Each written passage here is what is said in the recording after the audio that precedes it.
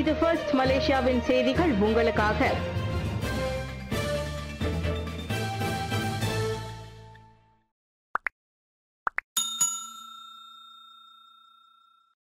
ஊழல்வாதிகளின் அச்சுறுத்தல்களுக்கு அஞ்ச மாட்டேன் அன்பார் ஊழல்வாதிகள் அச்சுறுத்தல்களுக்கும் அல்லது தமது தலைமையிலான மடானி அரசாங்கத்தை கவிழ்க்க நினைக்கும் கூட்டத்திற்கும் தாம் அஞ்ச போவதில்லை என்று பிரதமர் டத்துஸ்ரீ அன்வார் இப்ராஹிம் சூளுரைத்திருக்கின்றார் பல்வேறு அழுத்தங்கள் மற்றும் அச்சுறுத்தல்களை எதிர்கொண்ட போதிலும் தாம் எவ்வித அச்சயமடைவு இல்லை என்றும் தாம் வீழ்த்துவதற்கான க- ஒரு திட்டத்தையும் எதிர்கொள்ள தாம் தயாராக இருப்பதாகவும் கே. அடிலான் தலைவருமான அன்வார் கூறியிருக்கின்றார். தமது தலைமைத்துவத்தை பல தரப்பினர் விமர்சிக்கின்ற போதிலும் கடந்த நவம்பர் தொடங்கி ஒருமைப்பாட்டு அரசாங்கத்தை தாம் வழிநடத்தும் நிலையில் நீதித்துறையில் சுதந்திரம் மற்றும் குத்தகைகளை வழங்குவது தொடர்பில் அரசாங்க தலைவர்களின் எந்தவொரு தலையீடும் இருந்ததில்லை என்று பிரதமர் டத்துஸ்ரீ அன்வார் இப்ராஹிம் தெரிவித்தார். இது எனது இடம். கே. அடிலான் கட்சி. நான்கு மாதங்கள் நான் பொறுமையாக இருந்தேன். நான் சரியாக பேசினேன். நான் பிரதமராக பேசுகின்றேன் என்று அசிசா கூறினார். நேற்று நான் கே. அடிலான் தலைவராக பேசுகிறேன். சீரமைப்பு இயக்கம் என்றார் அவர். அன்வார் இப்ராஹிம் அன்டோல் ஸ்டோரி டைபர் டான்டாங்கான் திரைப்படத்தின் முன்னோட்ட காட்சியை பார்த்து கண் கலங்கிய அன்வார்.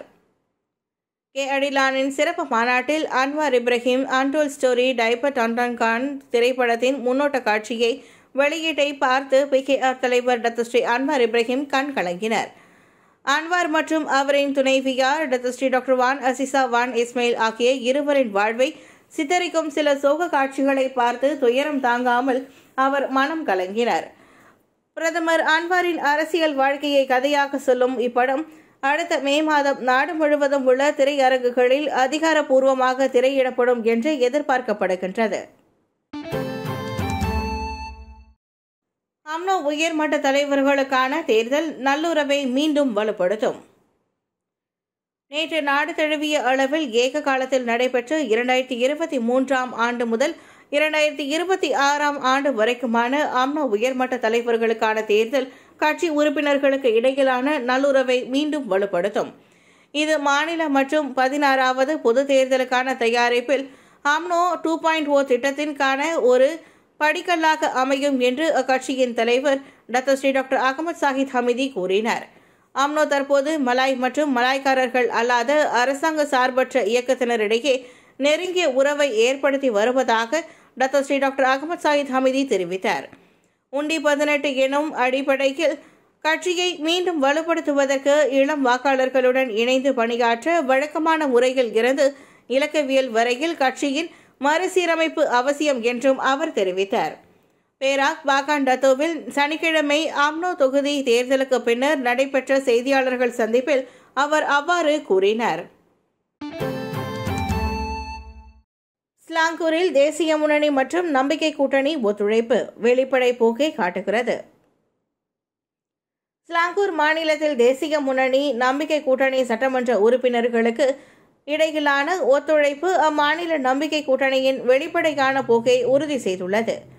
மத்தியில் ஒருமைப்பாட்டு அரசாங்கம் அமைக்கப்பட்டதற்கு ஏற்ப இந்த ஒத்துழைப்பு அமைந்திருக்கின்றது என தேசிய முன்னணியின் தலைவர் doctor Seri doctor Ahmad Zahid Hamidi தெரிவித்தார். ஜூன் மாதம் முடிவடைய உள்ள மாநில அரசாங்கத்தின் பதவிக்காலம் முடியும் வரையில் அம்னோ மற்றும் தேசிய முன்னணி சட்டமன்ற உறுப்பினர்கள் ஸ்லாங்கூர் அரசாங்கத்தால் இருப்பார்கள் என்று ஸ்லாங்கூர் மாநில சட்டமன்ற கூட்டத்தில் மந்திரி புசார் அமீருடன் ஷாரி வெளியிட்ட அறிக்கை குறித்து Datuk Seri Seri doctor Ahmad Zahid Hamidi அவ்வாறு கருத்துரைத்தார். சுமூகமான முறையில் நடைபெற்ற அம்னோ உச்சமன்ற உறுப்பினர்களுக்கான தேர்வு செயல்முறை. நூற்று எண்பத்தி ஒன்பது தொகுதிகளை உட்படுத்திய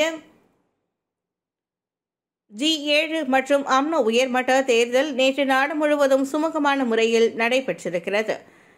தானாரத்தா மற்றும் கோத்தகினவாலு ஆகிய இரண்டு தொகுதிகளில் ஏற்பட்ட இடைநீக்கத்தால் அங்கு தேர்தல் நடத்தப்படவில்லை என்று அம்னோ தலைமை செயலாளர் டாக்டர் ஸ்ரீ அகமது மஸ்லான் தெரிவித்தார். மாலையில் முடிவுகள் கிடைக்கப்பெறும் என்று எதிர்பார்க்கப்படுகின்றது. ஒருவேளை சிறிய தொகுதி அதிகமான பிரதிநிதிகள் இல்லாத பகுதிகள் ஆகியவற்றில் நண்பகல் வாக்கிலேயே முடிவுகள் தெரிந்துவிடும். உதாரணத்திற்கு பொந்தியானில் அதிகமான பிரதிநிதிகள் அதாவது அறுநூற்று தொண்ணூறு பேர் உள்ளனர். எனவே அங்கு தீர்வு காண்பதற்கு கால அவகாசம் தேவைப்படும் என்றார் அவர். நேற்று ஜஹூரின் ஜூப்லி இந்தான் சுல்தான் இப்ராஹிம் மண்டபத்திற்கு வருகை புரிந்து தேர்வு செயல்முறையை பார்வையிட்ட பின்னர் செய்தியாளர் சந்திப்பில் அவர் அவ்வாறு கூறினார். இதனிடையே மகளிர் இளைஞர் மற்றும் புத்திரி ஆகிய பிரிவுகளின் தேர்தலும் நடைபெற்றதாக பொந்தியன் நாடாளுமன்ற உறுப்பினருமான அவர் கூறினார். கடந்த இரண்டாயிரத்தி ஒன்றாம் ஆண்டு முதல் பொந்திகான் ஆம்னோ தொகுதி தலைவராக பொறுப்பு வகித்து வரும் சிம்பாங் ரெம்பாங் நாடாளுமன்ற உறுப்பினர் டத்தோஸ்ரீ ஹஸ்னி முகமதிற்கு சவால் விடும் வகையில் அகமது மஸ்லான் இம்முறை களம் காண்கிறார். ஜானா விபாவா வழக்கில் குற்றம் சாட்டப்பட்டவரிடம் கையூட்டு பெற முயன்ற துணை பதிவாளர் கைது. ஜானா விபாவா திட்டம் தொடர்பில் குற்றம் சாட்டப்பட்ட தொழிலாளர் மீதான எஸ்பிஆர்எம் வழக்கு விசாரணைக்கு உதவும் பொருட்டு சுமார் இரண்டு லட்சம் ரிங்கிட்டை கையூட்டாக பெறுவதற்கு சூழ்ச்சி செய்ததாக சந்தேகிக்கப்படும் முன்னாள் நீதிமன்ற துணை பதிவாளரை மலேசிய ஊழல் தடுப்பு ஆணையம் எஸ்பிஆர்எம் கைது செய்துள்ளது.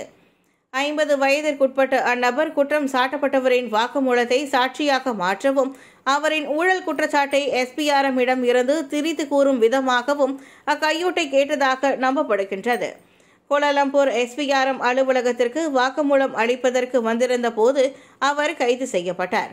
புத்திரஜயாவில் நீதிமன்ற துணை பதிவாளராக பணியாற்றி வந்த அவ்வாடவர் கடந்த இரண்டாயிரத்தி இருபத்தி ஒன்றாம் ஆண்டு பணி ஓய்வு பெற்றார். அம்னோ தேர்தலுக்கு பின்னர் மாநில தேர்தலுக்கான பணிகள் மேற்கொள்ளப்படும். இரண்டாயிரத்தி இருபத்தி மூன்று இரண்டாயிரத்தி இருபத்தி ஆறாம் ஆண்டுக்கான அம்னோ உயர்மட்ட தேர்தலுக்கு பின்னர் மாநில தேர்தலுக்கான பணிகளை அக்கட்சி மேற்கொள்ளும். கட்சியின் அடிமட்ட தலைமை பொறுப்புகள் உட்பட புதிய முகங்களை கணக்கில் எடுத்துக்கொள்வது குறிப்பாக அம்னோ இளைஞர் மற்றும் புத்திரி பிரிவில் பல மாற்றங்கள் மேற்கொள்ளப்படுவதாக அதன் துணைத் தலைவர் டாக்டர் ஸ்ரீ முகமது ஹசான் தெரிவித்தார். இன்றைய முடிவுகளுக்கு நாம் காத்திருப்போம். பிரிவுகளில் தலைமை பதவி உட்பட வரிசைப்படுத்தப்பட்ட பின்னர் தொடர் கூட்டத்தை மேற்கொண்டு பணியை செய்வோம். இருப்பினும் அடிமட்டத்தில் மிகப்பெரிய மாற்றம் இல்லை.